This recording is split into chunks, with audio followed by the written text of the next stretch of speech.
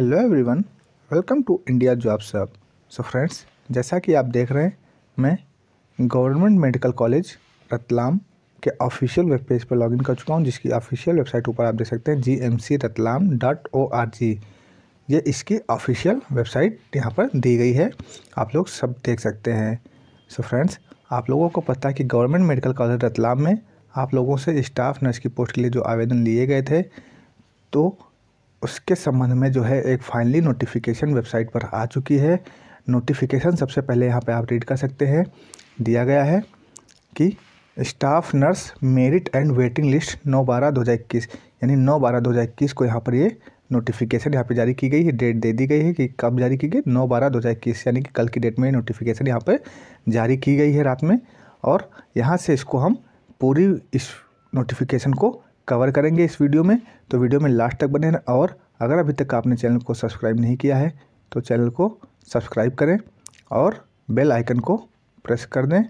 साथ ही में आल के नोटिफिकेशन को क्लिक ज़रूर करें, जिससे हमारे अपलोड की जाने किसी भी प्रकार की नर्सिंग से रिलेटेड कोई भी इन्फॉर्मेशन आपसे छूटने ना पाए।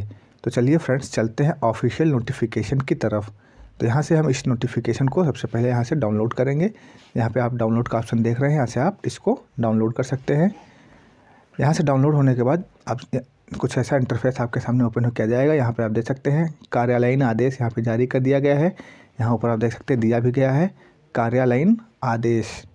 तो ये ऑफिशियल जो है ऑर्डर यहाँ पे आ चुका है। यहाँ पर ऊपर आप देख सकते हैं दिया गया कार्यालय मुख्य कार्यपालन अधिकारी एवं अधिष्ठाता शासकीय स्वशासित चिकित्सा महाविद्यालय रतलाम। और यहाँ पर आप लेटर नंबर दे सकते हैं इसका नोटिफिकेशन नंबर और डेट आप दे सकते हैं। नौ बारह दो हज़ार इक्कीस की नोटिफिकेशन यहाँ पर जारी कर दी गई है। अब यहाँ पर हम पूरी नोटिफिकेशन को यहाँ पे रीड कर सकते हैं। आदेश यहाँ पे रीड कर सकते हैं, दिया गया है। शासकीय चिकित्सा महाविद्यालय रतलाम अंतर्गत स्टाफ नर्स के रिक्त पदों की पूर्ति हेतु एमपी ऑनलाइन के माध्यम से प्राप्त सूची के आधार पर चयनित उम्मीदवार एवं प्रतीक्षारत उम्मीदवार निम्नानुसार हैं। तो यहाँ पर आप लोगों के जो सिलेक्टेड कैंडिडेट्स हैं, उनकी लिस्ट और साथ में जो है वेटिंग लिस्ट भी यहाँ पर जारी कर दी गई है। तो सिलेक्टेड और वेटिंग दोनों की लिस्ट यहाँ पर आ चुकी है स्टाफ नर्स की पोस्ट के लिए। अब यहाँ पे आप नीचे रीड कर सकते दिया गया, नीचे दी गई तालिका के अनुसार चयनित उम्मीदवारों को आज दिनांक नौ बारह दो हज़ार इक्कीस से सात दिवस के अंदर अधिष्ठाता कार्यालय में उपस्थित होकर अपनी उपस्थिति दर्ज कराना सुनिश्चित करें।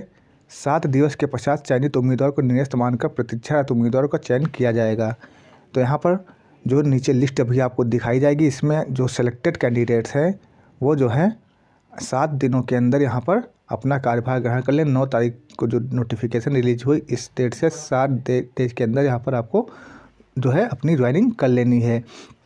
सिलेक्टेड कैंडिडेट्स अगर ये सात दिन के अंदर यहाँ पर ज्वाइन नहीं कर रहे हैं अगर आप पंद्रह तारीख तक ज्वाइन नहीं कर रहे हैं तो आपकी जो है अभ्यर्थ, जो है कैंडिडेशन निरस्त कर दिया जाएगा। आपकी जो है उम्मीदवारी निरस्त कर दी जाएगी और आपके स्थान पर यहाँ पे साफ़ साफ़ लिख दिया गया है, जो वेटिंग लिस्ट दी गई है साथ में तो वेटिंग लिस्ट के कैंडिडेट्स को आपकी जगह पर पदस्थापित कर दिया जाएगा। उसको जो है आपकी स्थान पर पदस्थापना दे दी जाएगी। तो यहाँ पर अब हम चलते हैं जो लिस्ट आई है तो सबसे पहले यहाँ पर आप देख सकते हैं, चयनित उम्मीदवारों की लिस्ट है। यहाँ पर तीन कैंडिडेट्स जो हैं फाइनली सेलेक्टेड कैंडिडेट्स हैं, यहाँ पे आप देख सकते हैं चयनित उम्मीदवारों की लिस्ट यहाँ पर दी गई है। सीरियल नंबर दिया गया कैंडिडेट नेम आप देख सकते हैं फादर नेम और कैटेगरी यहाँ पर आप देख सकते हैं, संविदा पर है। तो जो भी कैंडिडेट्स हैं, अपना लिस्ट में यहाँ पर नाम चेक कर लें, और ये तीनों कैंडिडेट जो है, नौ तारीख को जो नोटिफिकेशन जारी की गई है, उससे सात देश के अंदर यहाँ पर आपको ज्वाइनिंग करनी है। ये तीनों कैंडिडेट अगर सात दिन के अंदर यहाँ पर अपना कार्यभार नहीं ग्रहण करते हैं तो इनके स्थान पर जो नीचे वेटिंग लिस्ट दी गई है, यहाँ पर आप देख सकते हैं, दी गई है ये वाला, इसमें से कैंडिडेट को इनके स्थान पर पदस्थापित कर दिया यहाँ पर आप देख सकते हैं टोटल दो जो है वेटिंग में कैंडिडेट्स रखे गए हैं, प्रतीक्षारत, उम्मीदवार लिखा हुआ आप देख सकते हैं कैंडिडेट का नेम है फादर नेम और कैटेगरी यहाँ पर दे दी गई है। तो अगर कोई सिलेक्टेड कैंडिडेट से अगर कोई ज्वाइन नहीं कर रहा है या सात दिन के अंदर कार्यभार नहीं कर रहा है तो उसके स्थान पर ये जो दो वेटिंग के कैंडिडेट्स हैं, इनमें से किसी को आपके जगह पर पदस्थापना दे दी जाएगी। तो फ्रेंड्स जल्द से जल्द अपना नाम लिस्ट में चेक करें। जिनका भी नाम इस लिस्ट में है, वो अपना कार्यभार ग्रहण जो है पंद्रह तारीख से पहले पहले, पंद्रह दिसंबर से पहले पहले यहाँ पर कर लें। पंद्रह दिसंबर तक यहाँ पर कर सकते हैं, क्योंकि सात दिन का आपको टाइम दिया गया है नोटिफिकेशन के बाद से। तो फ्रेंड्स इस वीडियो में यहाँ पे सारी इन्फॉर्मेशन आपको कवर कर दी गई है। स्टेप बाय स्टेप हर एक चीज़ बता दी गई है पूरी जानकारी आपको दे दी गई तो वीडियो को लाइक करें शेयर करें और अगर अभी तक आपने चैनल को सब्सक्राइब नहीं किया है या फिर चैनल पर नए हैं तो चैनल को सब्सक्राइब करें और बेल आइकन को प्रेस करके आल के नोटिफिकेशन को क्लिक करना बिल्कुल भी ना भूलें। तो फ्रेंड्स मिलते हैं नेक्स्ट वीडियो में नेक्स्ट इन्फॉर्मेशन के साथ। जय हिंद वंदे मातरम।